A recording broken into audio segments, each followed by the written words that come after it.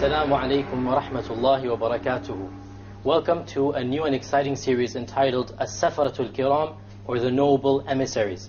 This is a series about tajweed and the art of reciting the Quran. And I am your host, Abu Ammar Yasir Qadhi.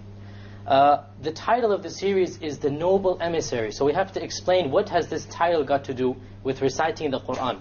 The title of this series is based upon a hadith of the Prophet sallallahu alaihi wasallam, in which he said that al-mahiru bil Quran, the one who recites the Quran fluently, will be with the safaratul kiram al barara, will be with the noble emissaries who are pious, meaning the angels of Allah Azza wa Jal. So these angels, Allah has called them the noble emissaries because the angels act as the messengers between us and Allah subhanahu wa ta'ala. So the Prophet ﷺ said that whoever recites the Quran fluently, in other words with ease, with the proper rules of pronunciation, he will be in the company of these angels in paradise. Therefore, we hope to be, we're striving to be in the company of these angels by teaching ourselves the art of reciting the Quran. Uh, this science in Islam is known as tajweed. And tajweed comes from the root jawwada. And the root jawwada implies to make something better, to decorate, to make it excellent. In Islamic sciences, it refers to reciting the Quran as it was revealed to the Prophet ﷺ. By giving every single letter its right, by pronouncing it correctly, and applying any contextual rules that apply. So there are two aspects. The first is to pronounce the letter correctly. And the second is to apply any rules that, that are applicable to this particular letter due to the context, meaning the letter before it and the letter after it.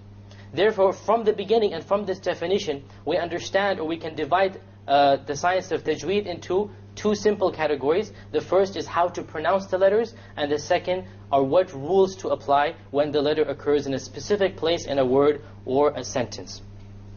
Now, uh, the science of tajweed is one of the first and most blessed of sciences in Islam. This is, the, this is because the Prophet ﷺ was told and commanded by Allah Azza wa Jal to recite the Quran properly in one of the very first revelations that was revealed to him. Allah Azza wa Jal revealed the second or third revelation, Ya ayyuhal muzammil, O you who is wrapped up in a cloth. The Prophet ﷺ was wrapped up in a cloth. قُمِ اللَّيْلَ إِلَّا قَلِيلًا Stand the night in prayer, except a little bit for your sleep. نِصْفَهُ أَوْ انْقُصْ مِنْهُ قَلِيلًا Half of it, or a bit less than this, أَوْ زِدْ عَلَيْهِ Or increase, وَرَتِّلِ الْقُرْآنَ تَرْتِيلًا And recite the Qur'an with tartil, with the proper voice, with the proper rules. So in this very, very early revelation, perhaps the second or third revelation, Allah Azza wa Jal reminded the Prophet ﷺ, commanded him about the importance of reciting the Qur'an properly. So therefore, tajweed is an integral science of our religion. It is because of this that the science of tajweed was not invented by any person. Rather, it was in existence since the revelation of the Qur'an. Now, this doesn't mean that uh, the Prophet ﷺ told the companions that, well, when a ra occurs here and before it is this or after that is this, you must do this. No, he didn't teach them the rules. Rather, what he did was he recited the Qur'an properly, with tajweed, with tartil. And when he recited it properly, the companions paid attention to the way that he recited the Qur'an. And they then passed this down to the generations after them until our generation. And later scholars, they then derived the actual rules based upon the recitation of the Prophet sallallahu alaihi wasallam. A very beautiful example that illustrates this point is that of the companion Abdullah ibn Mas'ud radiallahu anh, the famous companion, and one of the companions whom the Prophet ﷺ personally taught most of the Qur'an. Abdullah ibn Mas'ud once passed by a person who was reciting a verse in Surah At-Tawbah, إِنَّمَا الصَّدَقَاتُ لِلْفُقَرَاءِ That's how he recited it. Now we will learn later on that there is supposed to be an elongation on the alif. You're supposed to make it long. Ibn Mas'ud radiallahu anhu stopped him. He stopped him and he said, no. This is not how the Prophet sallallahu alaihi wasallam taught me to recite this verse. Rather he recited it, إِنَّمَا الصَّدَقَاتُ لِلْفُقَرَاءِ So he made it long. Now he didn't tell him that when an alif occurs and after it is a hamza, he didn't tell him the rule.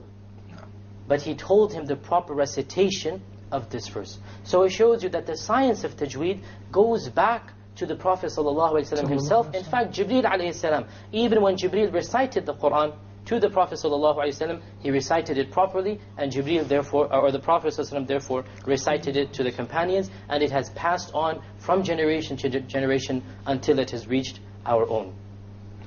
Scholars of Islam state that it is obligatory upon every single Muslim to learn the basics of the science of tajweed.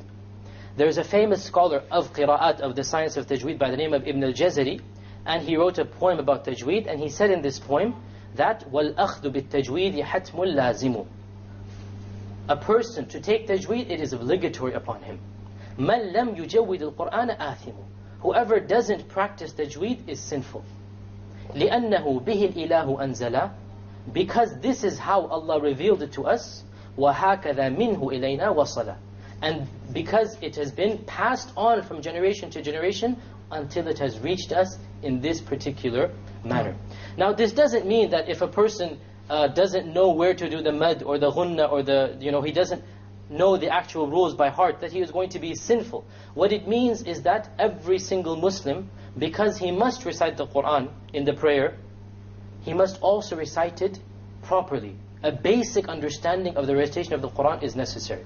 Obviously, advanced study, this is not obligatory on everybody. But every single Muslim must be able to recite the Qur'an relatively error-free. So he must know the basics of how to pronounce the word and you know where to uh, stop, where to start, and so on and so forth. And this is the purpose of this class that inshallah we are going to discuss the rules of tajweed. Before we start, there are some uh, important points that we have to discuss. The first of them are that these rules that we will present are based upon a particular recitation of the Qur'an known as the recitation of Hafs an Asim. Now most of you uh, are probably not aware that the Qur'an has been revealed in many different recitations. And they vary very, very slightly from one another. They're not very major differences. And the Muslim Ummah has taken 10 of these recitations and preserved them. Uh, most of these are not only taught at specialized schools, but there are one or two that are still practiced by the Muslim Ummah at large. So it is imperative that I point this out at the beginning, that our recitation and the rules will be based upon that of Hafs an Asim. And this is the recitation that is followed by the majority of mankind, the majority of Muslims.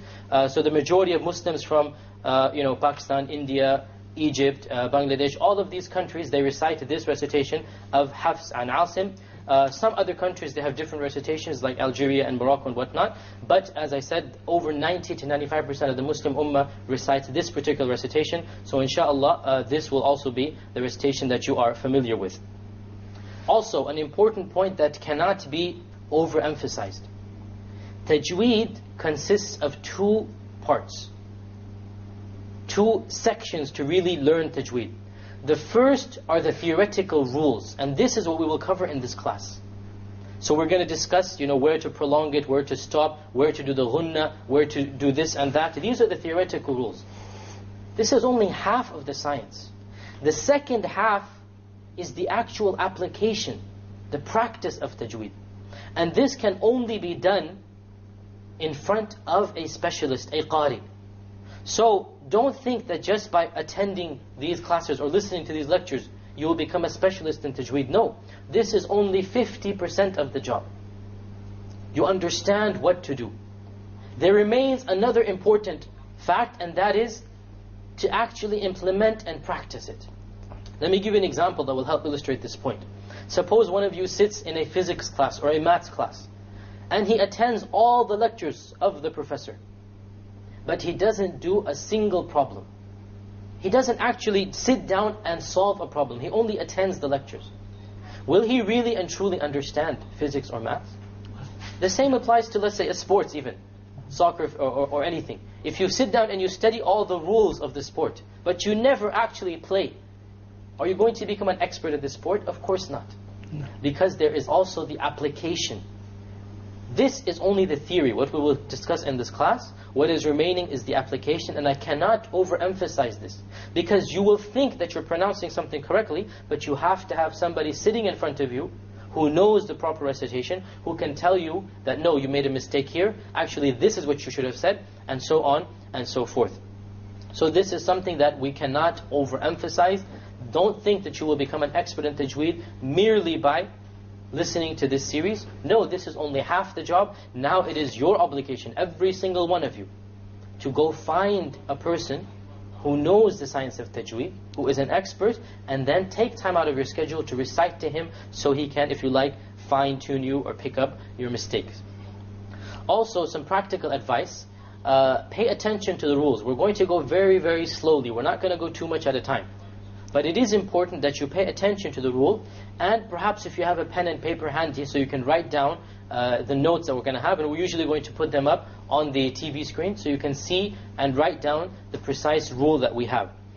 Uh, also, we're going to have recitation in the show, so have a Quran at home so that you can follow along. We're going to say we're going to recite from this surah, open up that surah and see, uh, along with the Quran, see how we are reciting it so you can uh, perfect your tajweed. Don't get frustrated if it's difficult in the beginning. Realize that tajweed is an easy science, but it is frustrating. How is that? It's easy in that you'll understand the rules very simply. It's not that complicated. But it's frustrating in the actual application. Many of you might not know how to pronounce the letters properly. You will be coming from backgrounds other than uh, the Arab background, so you will not know how to pronounce the letter perfectly. Therefore, it takes a lot of practice of the tongue. You must really tone down and uh, discover hidden muscles, if you like, of the tongue to actually fine-tune your qira'ah, to your recitation. So don't get frustrated in the beginning. This is a science which requires dedication and effort, but it doesn't require a lot of understanding. It's very, very easy science.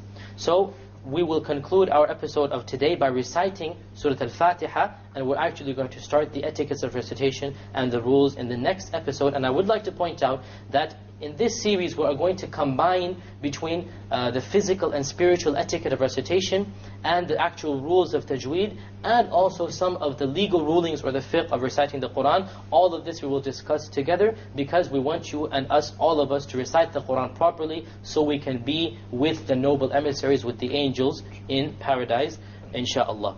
Uh, with this we'll recite Surah Al-Fatiha. Repeat after me. أعوذ بالله من الشيطان الرجيم أعوذ بالله من الشيطان الرجيم بسم الله الرحمن الرحيم. بسم الله الرحمن الرحيم. الحمد لله رب العالمين. الحمد لله رب العالمين. الرحمن الرحيم. الرحمن الرحيم. مالك يوم الدين. مالك يوم الدين.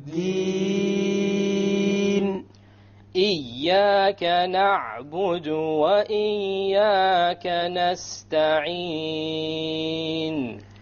إياك نعبد وإياك نستعين. اهدنا الصراط المستقيم.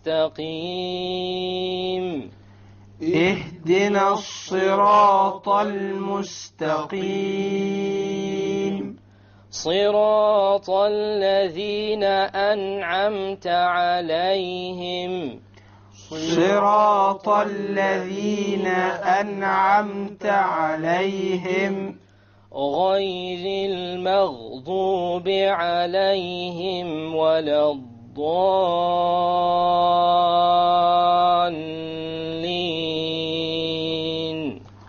غير المغضوب عليهم ولا الضالين. MashaAllah. So, with this we conclude our episode of today. And inshallah, in our future episodes, we will discuss the actual etiquette of recitation and the rules of tajweed. Until next time, we hope to see you then. Wassalamu alaikum wa rahmatullahi wa barakatuh.